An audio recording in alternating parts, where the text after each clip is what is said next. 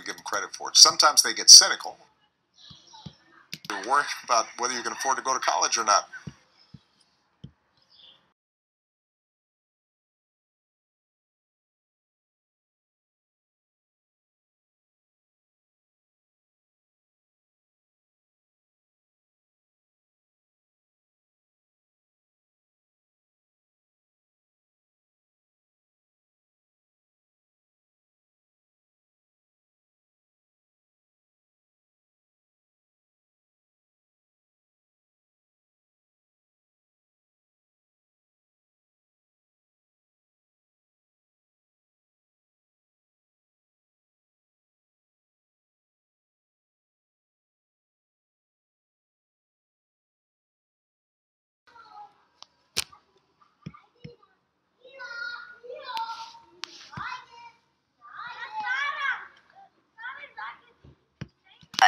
Is like any point in voting, like they're both so totally flawed. Like, don't you even think it's time to like upend the whole system? If and when Hillary is president, what do you think will be the female equivalent of you weren't born in this country?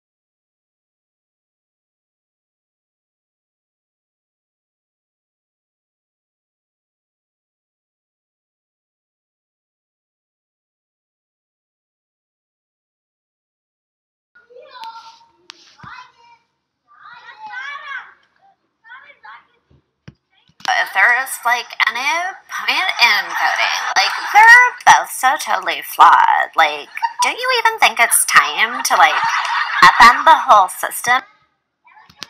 If and when Hillary is president, what do you think will be the female equivalent of you weren't born in this country? That's an interesting question. Office. Have you thought of just whispering in Donald Trump's ear? You were right. I wasn't born here. Just to like. I, I think That is very fair. What would you like your legacy to be, other than not having everything be overturned the day after inauguration? I feel confident that we can build on the pro- healthcare, making the economy work better for everybody. All that feels good to me. But the thing we say to ourselves, wow, there are a whole bunch of people who were inspired by what we did and are doing it even better. Then we'll feel A spooky story about what happens if people don't vote? Donald Trump uh, could be president. Okay. That was very scary. I'm going to make it even scarier for you. That was pretty scary. I'm not sure I'm going to sleep well tonight.